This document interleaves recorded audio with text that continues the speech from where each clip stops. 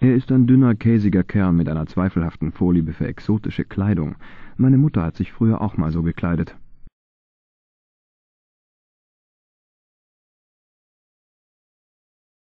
Verzeihung, sind Sie André Lobineau?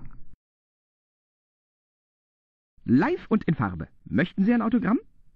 Nein, mir wurde gesagt, dass Sie mir vielleicht helfen könnten. Helfen?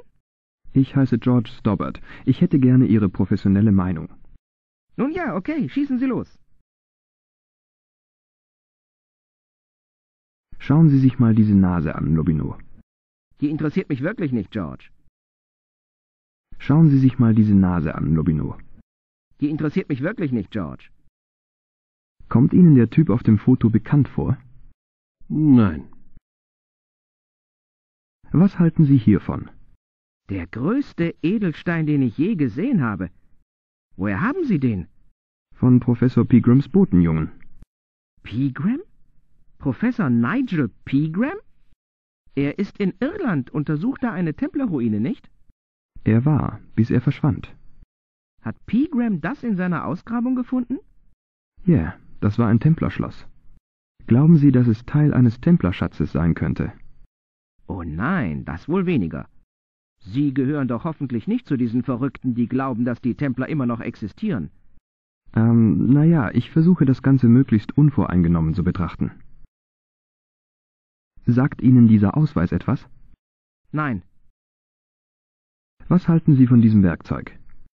Interessant. Woher haben Sie das? Von einer Ausgrabung in Paris. Bremen? Ich wusste gar nicht, dass in der Stadt gerade Ausgrabungen vorgenommen werden. Sagt Ihnen dieses Streichholzbriefchen etwas? Alamut ist der Name von dem Ort, an dem die Haschaschin ihr Hauptquartier hatten. Wo ist das? Irgendwo in der Gegend, die einmal Persien hieß. In moderner Geografie kenne ich mich leider nicht allzu gut aus. Auf der modernsten Karte, die ich habe, ist Amerika als englische Kolonie eingezeichnet. Wissen Sie, was das für weißes Pulver ist, André? Nein. Was sagt Ihnen dieses Taschentuch? Nichts. Ich möchte Ihnen gern die Hand geben, André. Nicht jetzt, George. Kennen Sie Pegram gut? Nicht besonders. Ich habe ihn auf einer Konferenz getroffen. Ich hätte mich gerne intensiver mit ihm unterhalten, aber ich hatte keine Zeit. Wann war das? Oh, im Sommer, Juli, glaube ich. In der zweiten Juliwoche? Kann sein. Ja, stimmt. Kurz vor dem Tag der Bastille. Pegram war also zur selben Zeit in Paris wie die anderen Opfer. Hä? Was für Opfer? Nichts, nur laut gedacht. Sagt Ihnen der Name Montfaucon etwas? Klar, das war der schrecklichste Ort von Paris, zumindest vor der Revolution. Eine öffentliche Toilette? Montfaucon war der Platz, an dem viele tausend exekutiert wurden. Ein dunkler Tempel des Todes mit vielen Bogenreihen, in jedem Bogen ein grausiges Ausstellungsstück. Galgen, an denen die Gehängten baumelten und die Krähen warteten. Das erklärt das Bild mit dem gehängten Mann. Ich habe einen Hinweis auf Montfaucon in Irland gefunden, in einem Dorf, das Loch Marne heißt.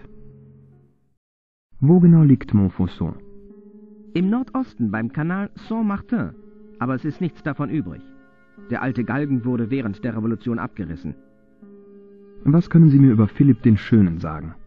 Er ist für die Ausrottung der Tempelritter verantwortlich. Das weiß ich. Warum wollte Philipp sie so unbedingt loswerden? Hauptsächlich, weil er ihren Schatz in seine Hände kriegen wollte.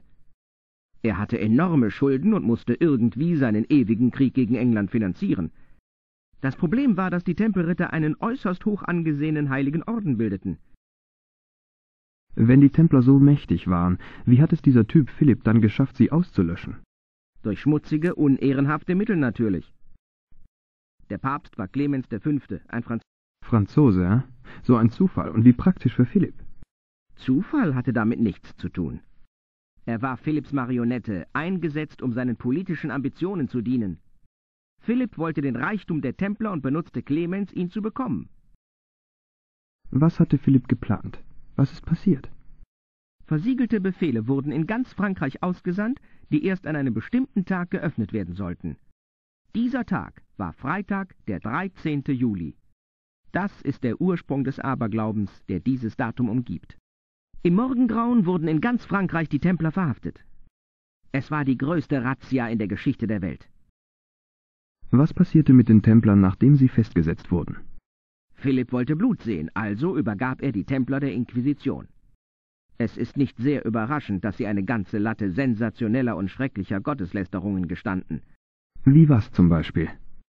Oh, die Sorte Zeugs, über die man in der Regenbogenpresse liest. Teufelsanbetung, abartige Sexualpraktiken, Anspucken des Heiligen Kreuzes, sowas eben. Das dürfte Ihren Verteidigern ganz schönes Kopfzerbrechen bereitet haben.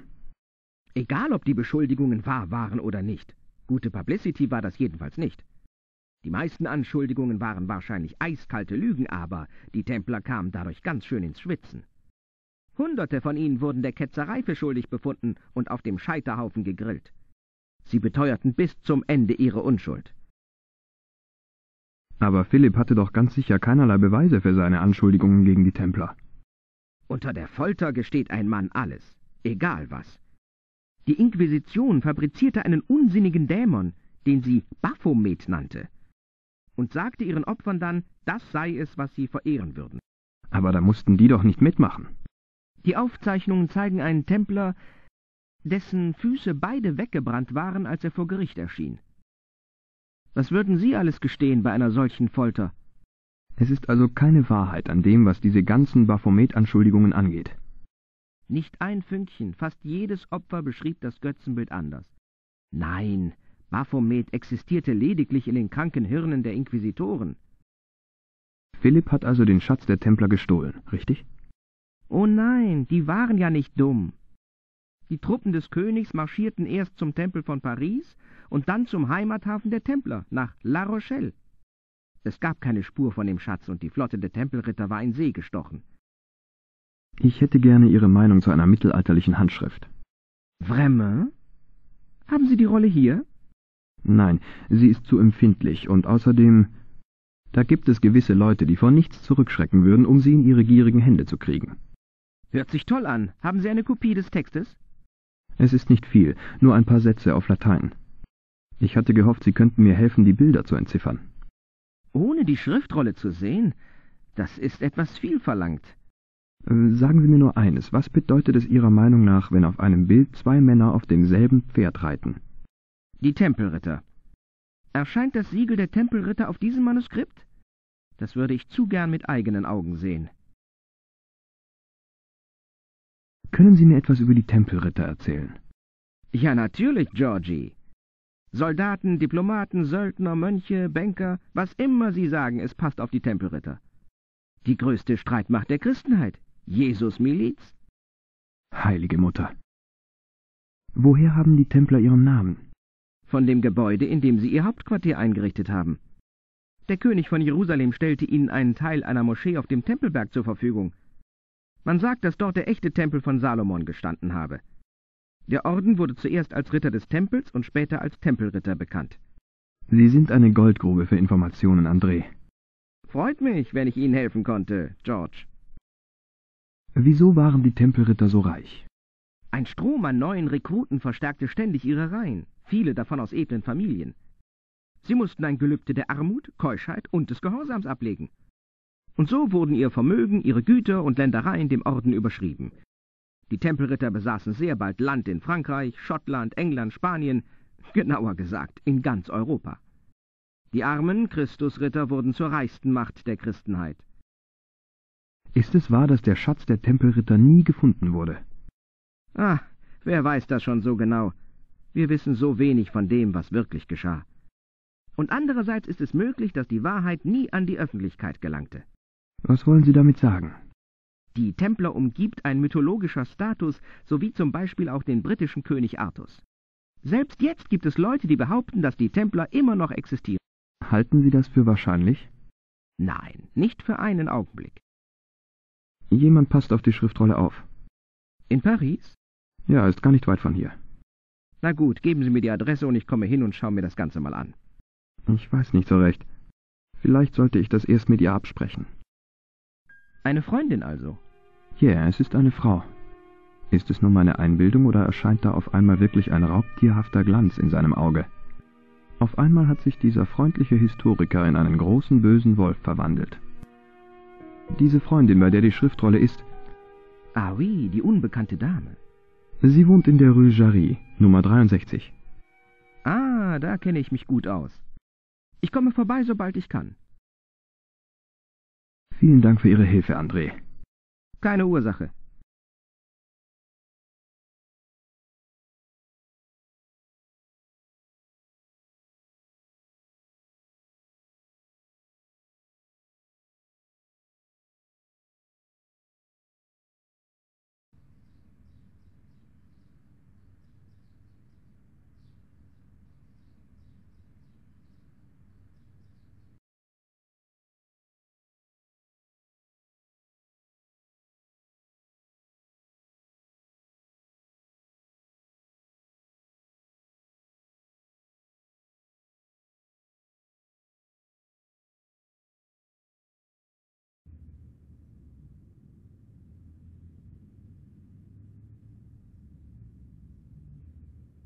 Ein typisches Pariser Straßencafé. Als ich zum letzten Mal in so einen Laden gegangen bin, flog er in die Luft. Ich bin eigentlich glücklich und zufrieden hier, wo ich bin. Ein typisches Pariser Straßencafé. Als ich zum letzten Mal... Ich habe mal eine Liste der stressfreiesten Berufe der Welt gelesen. Polizeiarbeit tauchte darin nicht auf. Aber ganz offensichtlich hat dieser Kerl nicht die gleiche Liste gelesen. Ein architektonisches Echo des Galgens, der hier früher einmal stand.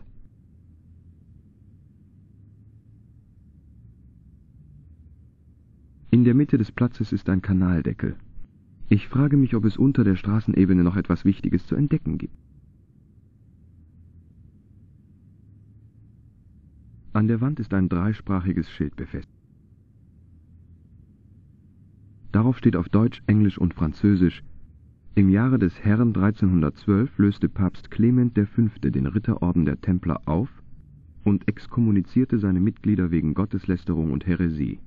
In den folgenden zwei Jahren wurden viele der Ritter an dieser Stelle gehängt. Ihr Großmeister Jacques de Molay wurde auf einer Insel in der Seine den Flammen des Scheiterhaufens übergeben. Ein verzierter Brunnen steht in einer Ecke des Platzes. Ein verzierter Brunnen steht in einer Ecke des Platzes. Ich muss wohl mal im Sommer herkommen, um ihn in Betrieb zu sehen.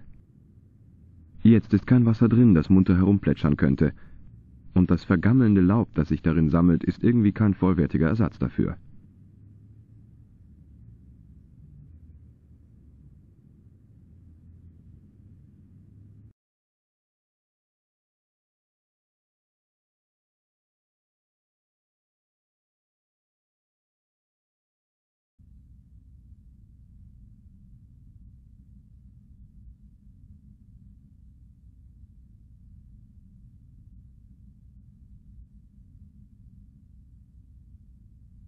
Eine Reihe alter Kirchenbänke, wunderschön geschnitzt und auf Hochglanz poliert. Ich stelle mir all die Leute vor, die im Laufe der Jahrzehnte dort gesessen haben. All diese Pariser Hinterteile, die festen Pobacken der jungen Damen, das schwabbelige Fleisch der alten Männer. Das ist kein angenehmes Bild, daher gehe ich geistig lieber zurück zu den jungen Damen. Wow! Ich habe keine Zeit zum Rumsitzen.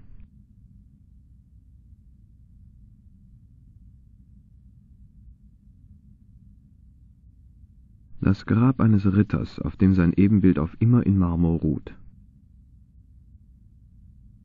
Ins Gebet vertieft wartet er auf den jüngsten Tag.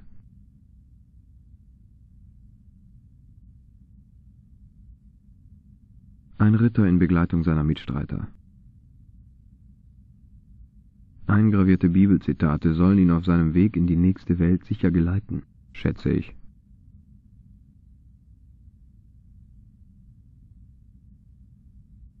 Die Statue eines Ritters, der einen Stab und eine Schriftrolle hält. Wenn die Statue irgendwelche Geheimnisse hat, sind sie aber gut versteckt. Per disciplinam meam lux videbis.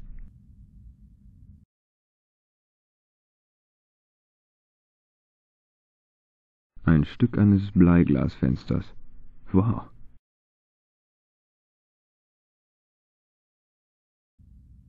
Auf den großen Durchbruch zu hoffen, indem man sich jede Menge Statuen anschaut, war wohl doch etwas optimistisch, schätze ich. Eine Schriftrolle ist ein Symbol der Gelehrsamkeit, das weiß ich.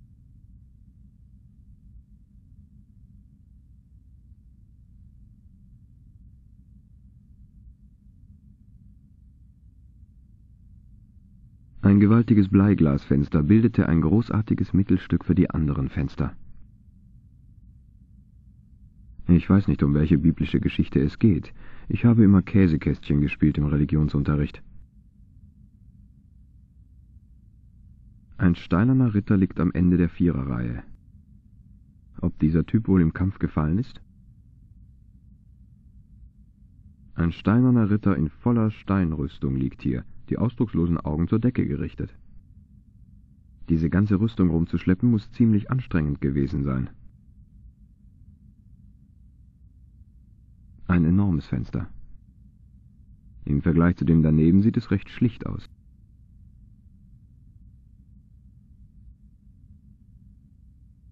Der zweite steinerne Ritter von vieren, die auf dem Kirchenboden liegen. Ich staune, dass Philippe le Bel diese Gräber in Ruhe gelassen hat. Ein Ritter aus Stein liegt auf dem Boden der Kirche. Sich vorzustellen, dass da ein toter Kerl drunter liegt,